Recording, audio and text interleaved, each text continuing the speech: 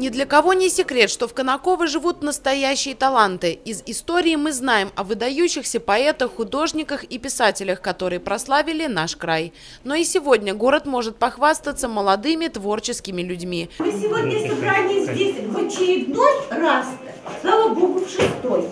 Мы собрались для того, чтобы открыть очередную выставку а, детского э, творчества, совместного творчества наших педагогов Центра э, «Новая Кравчева» и э, очень талантливых учеников. Более 700 человек отца Виктора занимается в его школе. В Краеведческом музее открылась выставка, на которой воспитанники селиховских мастерских представили предметы своего творчества. Лучшие работы воспитанников домов народного творчества расположились в одном из залов хранилища. Экспозиция разнообразна, но тематика одна – русское народное творчество.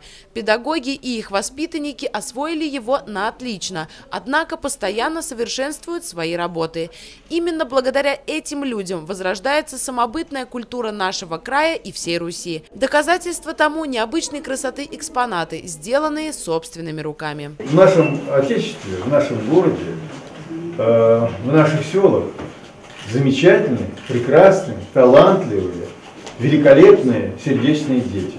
Мы знаем, что э, вот дополнительное образование, оно э, настолько же полноценно, оно настолько же, так сказать, необходимо, оно настолько же, так сказать, вот важно, как и общее образование.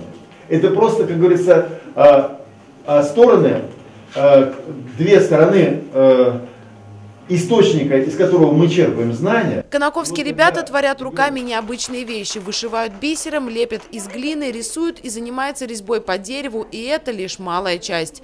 Творчество для них – это не досуг и не хобби, а сама жизнь. И тому доказательство собственноручно сшитые костюмы. Педагоги центра специально на открытие облачились в народные одежды. Творчество детей всегда очень интересно и неповторимо. Ведь ребята вложили в поделки свою душу. Неудивительно, что юные дарования уже неоднократно становились призерами всевозможных конкурсов. За второе место в акции «Сделать добро кормушки для птиц», пожалуйста. Вот видите, какая, какая маленькая такая девочка, а вот такая талантливая и замечательная. Я тебя от души поздравляю и желаю тебе э, победы. Выставка начала свою работу. Для всех желающих насладиться поделками юных мастеров нашего города двери краеведческого музея открыты.